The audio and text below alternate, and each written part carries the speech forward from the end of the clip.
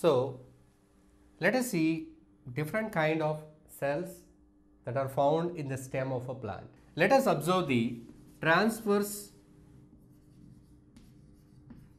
section of spinach plant. So we are observing the section, thin slice of the stem. So how the slice was made? So if this is the plant, so the plant is cut here and it will have the cells like this. So we have taken thin part of it like a small disc. So from the stem we have taken a small part, a small thin slice of that, horizontal it is cut and the thin slice is observed under microscope to observe the different kind of cells. So here basically we observe four different groups of cells. Say this is group A, we are not giving the exact names of the cells as we will learn the different types of cells and functions in 9th class. Here just we are understanding the variation just we are understanding the presence of different cells. We are not going into the detail what is that cell, what is its name and what is its function at this class, at this standard 8th. So let us see this group, this outer one is called as A and uh, we call uh, this is called as uh, group B, the next to the A and this is called as group C and this is called as group D. So we can uh, see their function. The group A, the outermost cells, they are protective in nature. They form the covering, they protect the inner cells. Protection. Let us see the B. The B group cells are below the A layer and these cells they perform photosynthesis if it is green. If you see spinach, the stem is also green. That means it has chlorophyll and carry out photosynthesis. So photosynthesis is done. The layer that is below the layer A group. Now the C group. The C group you can see some bundle like ones, some egg shaped bundles. So these bundles will be traveling throughout the stem of the plant.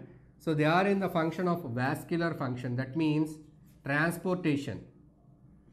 Transport of water, transport of food is done by these bunches of these cells. So different kind of cells are there in the clusters, in the bundles.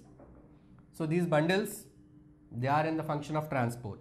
And the center one, it forms that uh, basic uh, uh, the stuff, the inner content uh, and gives support to the plant.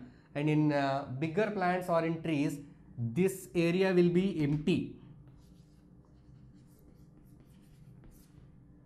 This area will be empty in mature plants. In small plants, it will form some soft tissue. So now let us see different uh, kinds of cells and their functions. So this is the variation of cells we observe in case of a plant. So we have taken a cross section of a spinach plant. We can use a tridax, gaddi chamanti mokka. That plant section also we can take with the help of a, a nice um, blade. We can cut the thin section and it can be observed under a microscope. Now let us see the different kinds of animal cells. Now let us see different kinds of animal cells. Like uh, these are the cells from human body. We have different type of cells in different body parts which perform different functions. If you see the muscle cells, so here we have a smooth muscle cell, we have striped muscle cell. This is a variation. Different kind of muscle cells we have. If you see the structure of the bone cell, it will be like this. And we can uh, see the different uh, shaped uh, cell, a narrow cell. This is a single cell. See how it is. This is also called as a neuron. This is called as a neuron. See, it has got a cell body and so many dendrites, and this is called axon, uh, which it is connected to different kind of nerve cells to form a very big network of nerve cells. And even we see variation in our blood, different kind of cells. Red blood cells, red blood cell shape is like this.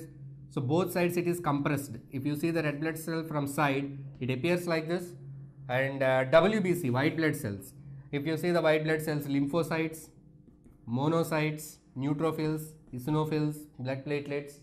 Likewise, there are different types of cells in there uh, which vary in their structure and function. So these are some examples of uh, different types of cells present in human body. So about uh, the tissues that they form and the functions of the tissues we will study in the higher classes. So just we are understanding the variation of cells in their shape and structure and function in plants and in animals in this lesson.